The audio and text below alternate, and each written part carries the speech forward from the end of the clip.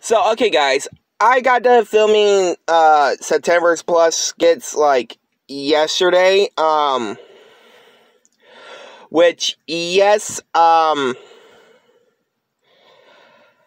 I am thinking about putting. T- already put one AEW wrestler in one of my Plush skits that I'm putting out there by the end of September, and one of them is Keith Lee.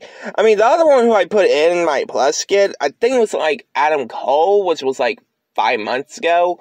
But yes, I am thinking about putting them in plush skit plush skits more often because I put on one of them in a video once and that was it.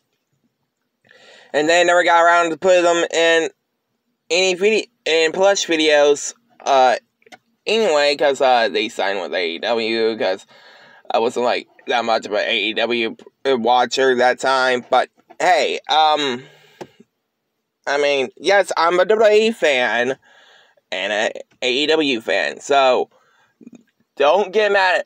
well, I'm not trying to say that to be rude or anything, but hey, um, anyways, it is what it is. Like I said from the last video about the Borderlands movie, but anyway, guys, if you guys like, comment, subscribe.